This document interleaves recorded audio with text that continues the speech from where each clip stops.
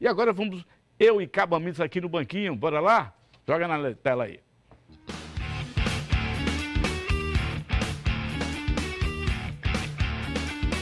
Eu acho que eu vou encomendar, Bareta. Amitas, vamos encomendar um Uma banquinho, abertura que esse nova banquinho aqui. daqui não é um banquinho adequado pra gente, não. Tá não, rapaz. A gente tem que comprar um banquinho mesmo. Imagina, rapaz, eu fico preocupado Esse com é você, de- Por quê? porque assim, você praticamente não tem nádegas, né? Não. É só os ossinhos a ali. Só... É, você que tá Quando com você pandeiro. Você tá com aqueles pandeiros de Ah, mulher vai. parida, tá com cada quarto desse tamanho, né? Ah, rapaz. Aquele quarto de mulher parida. Fecha o terno hoje. Vou fechar aqui. pô. Não é como é com um homem, um vereador, um homem que representa o povo, anda com Gostou? paletó.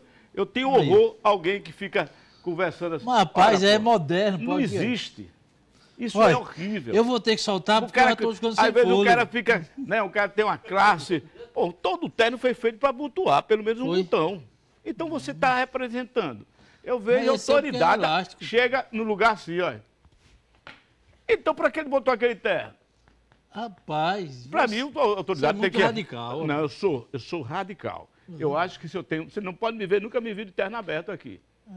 porque você eu acho que não existe alçada, isso. né? Não, o terno foi feito para você abotoar pelo menos um botão, pô. Então, Então tá aí. Como é que você anda com um lugar desse jeito? Então vai de, vai de camisa esporte, pô. não pode não, tem que Ah, de terno. Então não tá de terno. Quando o cara abre um terno assim, ele tá muito social. Eu tô achando que ele tá. Como é que é, Ele doutor? está no regime de engorda. Ah, então ele tá com regime de engorde. certo? Rapaz, deixa Tá ser assim. É elegância. É, elegância não. Se alguém tivesse num lugar meu, eu disse, "Ei, mesmo, apertou, botou o terno, vá para entrar. Rapaz, isso é problemático pra essas Tô coisas. viu? Chato. Você não me vê de terno aberto aqui. é. Eu posso estar até com a camisa, né? Mas no terno aberto, olha ele é. Vixe, meu Jesus. Aí você vai me dar uma bengala. Ser pô. brigando. O nego pensa que é. Vai. Mas você fica até elegante, né? Parece que Vai, ela- é. Tenta emagrecer brigando. Vá. Parece Rapaz, o aquele cara. Silva de chicanismo, É lembra? isso mesmo. Ele bonitinho. Aqui é só grau. O nego tá pensando que aqui é chifra, pô. Ai, ai. Chifra não, aqui é grau. cabeça, Aqui é grau. Grauzinho Rapaz. cada dia. Amitas, vamos falar hoje sobre o caso CPI. da CPI. Como é que tá a CPI lá? Rapaz, depende. Aquilo é CPI? Ah, ali é uma pizzaria. Ah, porque eu vi Vai acabar você, em pizza aquilo ali. você falando que o presidente da Câmara está ditando o que ele faz. o que Vereador quer, briguento. Não é? Olha, tá vendo? Se tivesse nós dois lá, ia ser uma briga do cabo. né? Rapaz, era uma confusão. Olha, Mas a gente ia estar do aqui. mesmo lado, do lado É. do povo. Depois a gente ia almoçar junto. certo? Pô?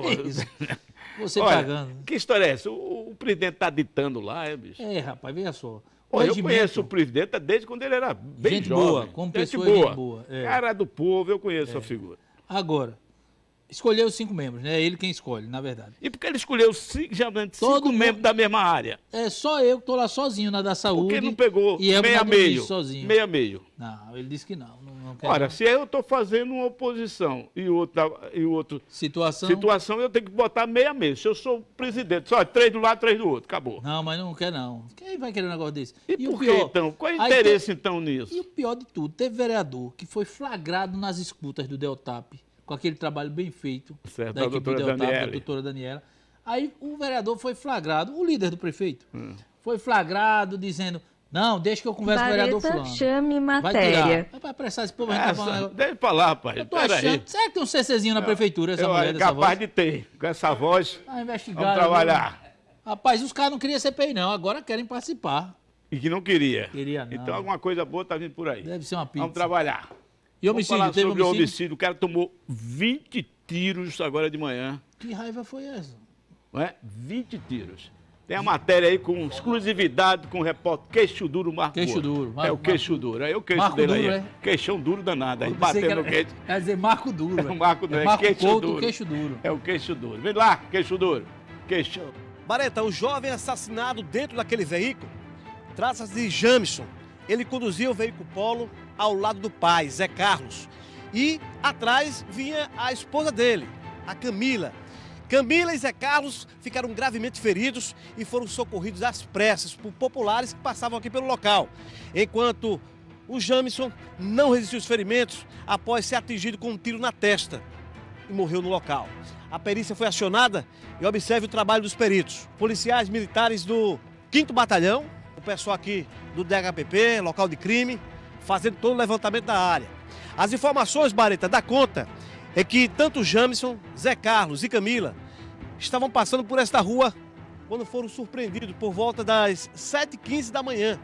Possivelmente dois homens fortemente armados com pistola 380 que estariam em uma motocicleta. Se aproximaram do veículo e deflagraram vários tiros. A polícia agora investiga o caso e a família cobra justiça. Hugo é primo de Jamison e de Zé Carlos. Como foi que o senhor teve conhecimento? Rapaz, umas 8 horas, o colega chegou lá da empresa que trabalha junto comigo que disse, olha rapaz, acabaram de matar seu primo e balear seu tio e a esposa de seu primo. Aí eu vim correndo, pedi o patrão para ser liberado e vim para cá, né? Para saber o que se tinha acontecido mesmo. Quando chegou aqui, tá aí, é, para todo mundo ver. Ele estava indo trabalhar. Tava indo trabalhar. Passagem pela polícia? Tem algum envolvimento com alguma coisa? Mas eu vou dizer com você, mentira é, mentira é feia. Ele já passou, é, já foi preso, mas um bocado- tem um bocado de anos já que está solto. Agora é trabalhador, pai de família, tá entendendo? Ele quem? Jamson, Que era o motorista do carro. que era o motorista do carro. E o pai? O pai também, que era o chefe dele, que era o encarregado da firma onde ele trabalhava. Mas nunca teve problema com a justiça, não? Não, não, não, não, graças a Deus, não. Só, só isso mesmo que teve. O que dizer num momento como esse? O que eu tenho que dizer é que quem tem suas famílias, seus entes queridos, que tomem cuidado, porque os vagabundos estão soltos aí, matando a torta e a direita. Bareta, a situação é essa. Agora, o Hugo e demais familiares querem agora a justiça. Você é porta queixo duro aí, É, isso aí. eu marco curto. Quer dizer, já tinha um problema anterior. É, ele teve um problema com a justiça, né? Segundo o familiar dele, ele já tinha sido preso. Então A tem alguma um coisa aí, a polícia vai investigar, vai. vai. chegar nos autores, não tem nem dúvida. Não vai demorar uns dias, mas a gente chega. Parete, hoje é difícil você passar no lugar onde não tem uma câmera que pegou você chegando. Você saindo. aí. A informação do povo também, porque o cara matou uma de manhã às 7 horas da manhã. Cedo. Já sabia a Já rotina sabia dele, a que rotina ele saía dele, para que ele trabalhar saía para naquele trabalhar horário. naquele horário. Foi lá, o pai dele, que é, que é o chefe dele, empresa. carregado dele, também sofreu algum. E a mulher também foi baleada também. Poderiam ter perdido a vida também, né? Quer dizer, os caras vieram à frente mesmo de executar. Foram mais de 20 tiros. Mas você reparou que tem acontecido muito homicídio aqui em Sergipe desse tipo, né? Olha, teve um que até agora eu não vi explicação. Aquele da Hermes Fontes, do ex-presidiário, né? Vários tiros. Vários tiros já passaram Depois- por cima. Foi. Não, esse, Não, esse é outro, esse já outro. foi outro. É. Esse foi outro ali perto do armazém. Quando eu falei perto do armazém. Hermes Fontes, é, Foi. meu irmão. Faz até medo de passar na Fontes mesmo. Agora, O quando negócio você tá vai sério. buscar, é triste a gente ver isso. Aí você vai buscar, o cara tem um passado, tem uma bronca na justiça. né? Parece que agora, turma, agora tá na hora. Tá na hora de tá cobrar. Bom, agora tá na hora de cobrar. É, porque vou cobrar. tá Miguel, né, as leis não prendem. A lei não porque prende, o tem, efetivo é pouco da não polícia. tem presídios. Quer dizer, eles estão fazendo essa história de, de custódia, falar nisso, É né? o tal de soltar, né? É, pra assaltar. Então o malandro vai dizer, porra, bicho, eu mato ele, vou ser me apresentado aqui, eu não tenho presídio pra me botar, eu sou o cara limpo, acabou, e quem foi embora foi quem morreu. É verdade. Então a gente tem que O evitar o máximo quem tem seus parentes abre o olho. né? que abra o olho. Outra coisa, não é? Esse negócio de custódia tem tido, tem tido problemas. Você viu o que aconteceu agora de manhã. O policial sai triste da audiência de custódia. Você soube que Você viu aí. o policial E o cadê o pinote do Cara, ML, não? pinotou bicho, Como, com rapaz? algema. Agora, quando o policial bota a algema no pé e no braço, Não pode. rapaz, é um problema. constrangimento. Tá doendo, É um constrangimento. O cara tinha vários homicídios e foi pego pelo pessoal do choque. Com É. escopeta, com arma, com tudo. Cadê? Será pra ir na bronca, coleira? cheio de bronca, cheio de pedido, cheio de mandado de prisão. Mas eu vou dizer, sabe o que Tem acontece? que ir pra custódia. Pra que ir pra custódia? Você já tem mandado de prisão. Bota esse cara direto pra penitenciária, Aí rapaz. querem culpar o cara que tá fazendo a escolta. Cara Aí a escolta fica não. sofrendo dessas consequências, são 15, 20, 30 pessoas. Pra quantos? Tomando aí o cara conta? quer ir no banheiro. Se você dizer, não, vai pro banheiro, mija aí, aí, meu irmão, aí quem responde é o cara. Aí entendeu? chega direitos humanos. Ah, o cara aqui, ó. é. Pinotou, aproveitou o carro do ML, passou, ele aproveitou por trás e ó. Se Dentro mandou. ele não quis ir, né? Dentro ele não quis, não. Não, dentro não quis, não. Então o problema é esse. Não pode culpar a polícia. É verdade.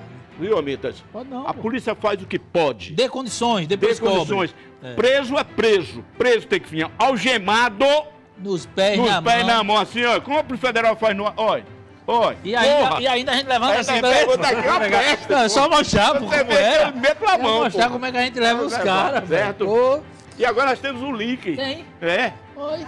Esse Ah, rapaz está sumido. Ah, tá esse, sumido. Esse a gente mostrou, não esse nós mostramos. Esse Foi. aqui está sumido também. Esse Tava mesmo, com ele, né? Que é o, o caso do rapaz que foi encontrado o carro lá no Laranjeiras. Laranjeiras, lá no Canavial. Canavial. É, rapaz, um né? sumiço estranho aí, né? Esse já tinha tido problemas anteriores.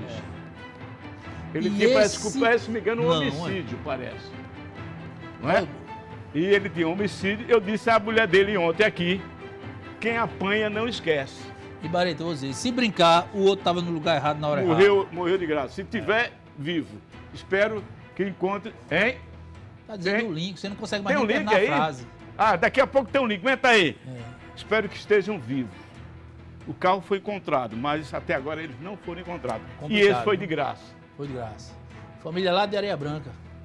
Espero que Conversei estejam com a vivos. esposa dele, estão realmente preocupados. preocupadíssimo e até agora nada do corpo, o carro foi encontrado, só levaram um toca-CD do carro, pode pode levar para desdrobar, É, ninguém some com dois homens por causa de um toca-CD. ninguém some. Aí tem uma história mal contada. Esse tem, tem um problema já sério, não é? A esposa, eu conversei com a esposa dele, sabe, Barreto, ele tem, parece que ele praticou homicídio há muitos anos atrás. Quem bate, Quem esquece. bate não esquece. Não, quem bate esquece. Quem apanha, lembra. É, quem apanha lembra, não é?